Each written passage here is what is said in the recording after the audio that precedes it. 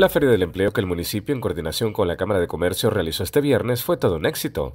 Así lo calificaron ambas instancias, las que sin otorgar una cifra en específico aseguraron que asistieron decenas de interesados, todos en búsqueda de una oportunidad laboral.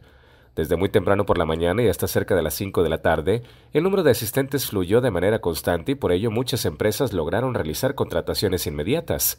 Mediante entrevistas, las empresas asistentes seleccionaron entre los presentes a quienes pudieran llenar los espacios disponibles, y aunque todavía no se tiene el dato de cuántas de las 160 vacantes fueron cubiertas, se aseguró que por lo menos la mitad de ellas lo fue. Personal del municipio indicó que si aún existen personas interesadas en alguna oportunidad pueden acudir a la presidencia solicitando la bolsa de trabajo, donde se les direccionará hacia los comercios que aún buscan empleados en esta temporada.